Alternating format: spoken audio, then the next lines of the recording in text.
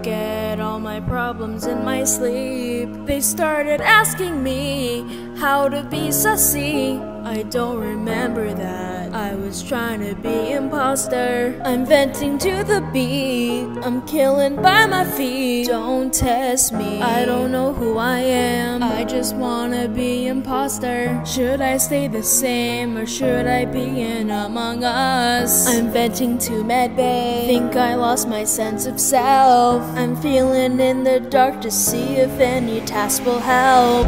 Don't kill me unless you're trying to be sussy baka. I'll say nothing, hide that I am the imposter.